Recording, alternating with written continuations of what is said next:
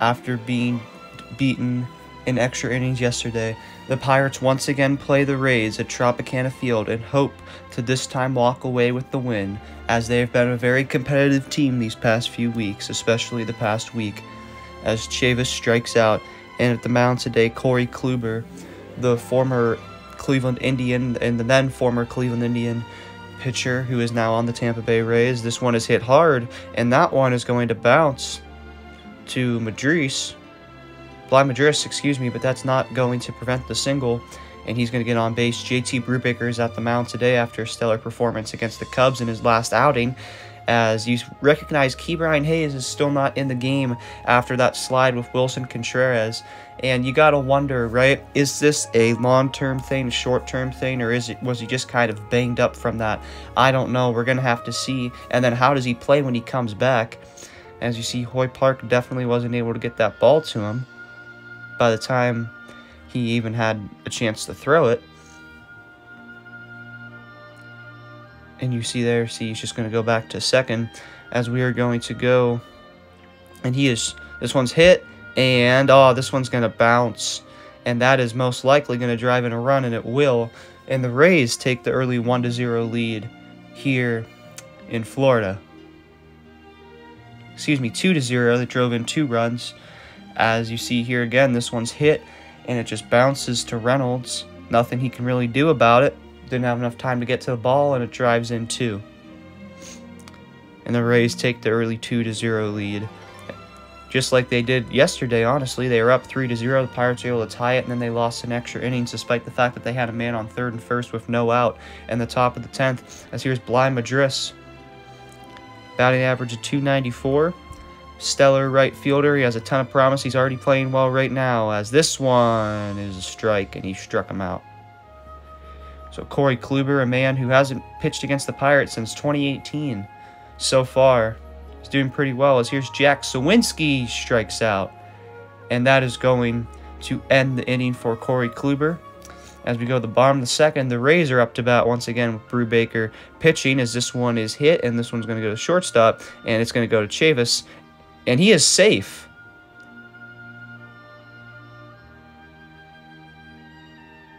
So they're claiming, so it seems as if they claimed that he is safe, and it looks like he was, but the Pirates probably going to end up challenging that just to get a little look at it, as you say, as you see here.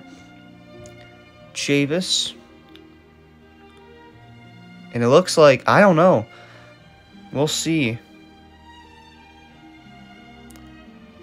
and they are going to, let's see what the umpire says. They're going to call it an out. That's what I figured they would do. So the Pirates get the out, and it's going to take us to the top of the third inning. Castillo up up to bat as this one's hit hard by Diego Castillo, and it looks like this one's going to be gone, and it is. Diego Castillo gives the Pirates one run, a singular run, to cut the deficit in half. Pirates still trail two to one. Castillo's going around the bases. He's hit some he's hit more home runs than he usually has within the past like two weeks compared to the rest of the season. So he's having an above average performance, I'd say, in terms of his hitting production these past two weeks. And good for him, good for the team. And Castillo, that one goes inside into the stadium between section 141 and 143. And here's Bryan Reynolds and ever since that series against the Giants, he has been back. As this one's hit, and that's going to be a single for Bryan Reynolds, and it looks like that one's going to try to drive in Michael Perez, and it will. So the Pirates have tied this game up 2 to 2. And this looks like a pretty similar game to what it was yesterday.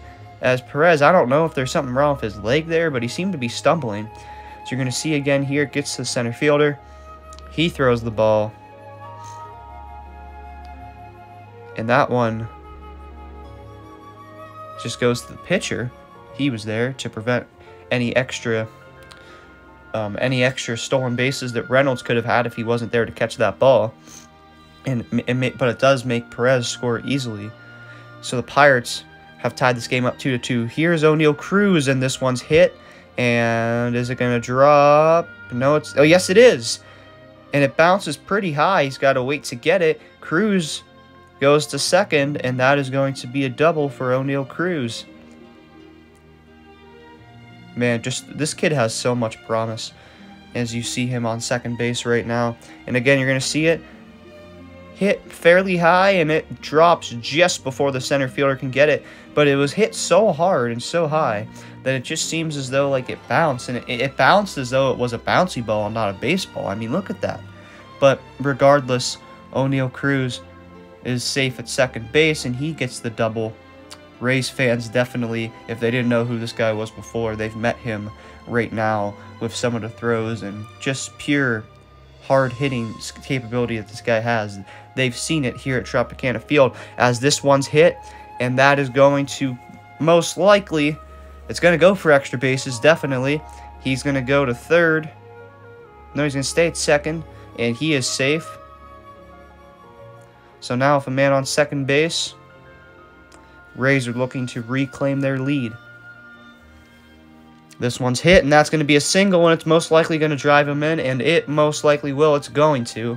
And the Rays have reclaimed the lead 3 to 2, and he's going to be safe at second base. Aaron Zada is going to make it a double, and the Rays take the 3 to 2 lead. They drive in Lowy. And to see it here again, right between the gap, very routine play for the, the, the man on second he goes home, and the Rays have took the 3 to 2 lead. And this is, mind you, the most probably the most dangerous hitter that the Rays have, Aronzada. He and here is Choi, and he is out. So after the strike, the catcher throws it, and he is out. And you're gonna look at that. Oh no no no no! The catcher no, JT Brubaker did, and he caught him off. He caught him off guard and gets the out. So that's something that you see in baseball, but you rarely see anymore. But you saw it right here. Brubaker to Cruz. And that's going to end end the inning as we go to the top of the sixth. Jack Suwinski. This one's hit high, and this one is absolutely crushed. I would have loved to see how that one would have gone and how far that one would have gone in Wrigley Field.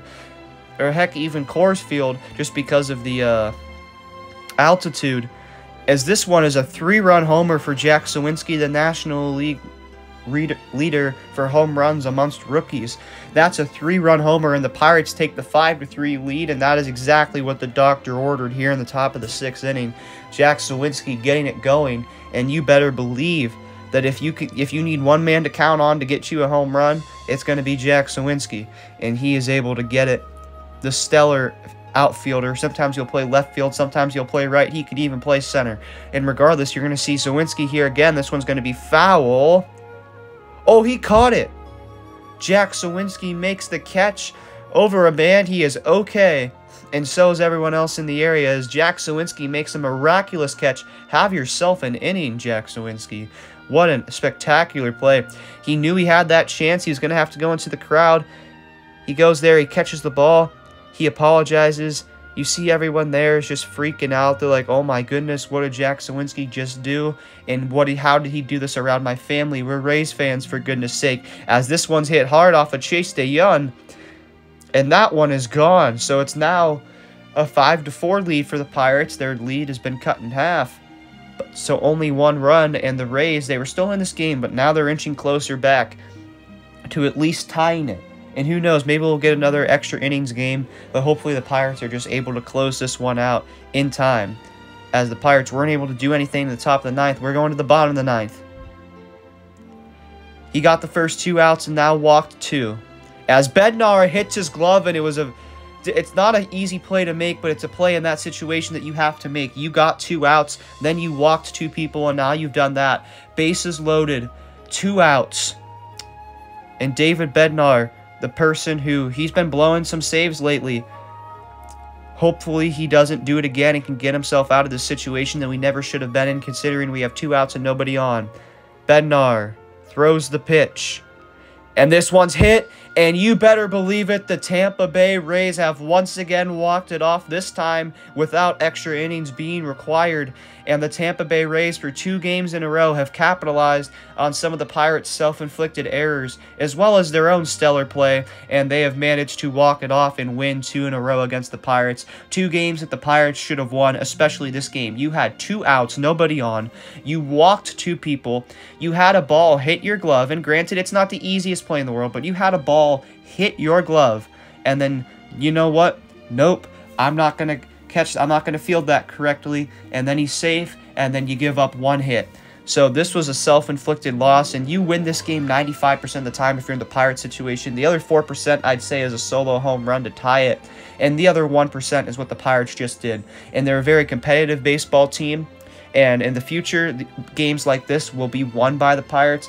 But you still like I'm. That's why I'm still scared. I'm still scared that whenever this team becomes really good in two to three years, which I think is going to happen, I don't want to. I don't want to hold ourselves back with the DNA in our blood that is losing. The Pirates found a way to lose this game, and that is never a good thing. I get it. There's 162 games in an MLB season, but the way the Pirates lost this game should never happen. It shouldn't happen, but they did. They found a way to lose, and that's something that they're going to have to shake out of their DNA whenever they become a playoff contender, and I'd say probably two to three years. I want to see a good second half of the season. I think we still will, but you have like games like these they hurt, they sting. These are games that you should win. These are games that make up for that nine game losing streak that makes us look worse than we actually are. We're better than what our record shows. I promise you that. But the Pittsburgh Pirates found a way to lose this game, and yes, we're not going to the World Series this year, but it's some, it's still unbelievable how this team finds ways to lose games like these. And you know what? So are the days of our Pirates.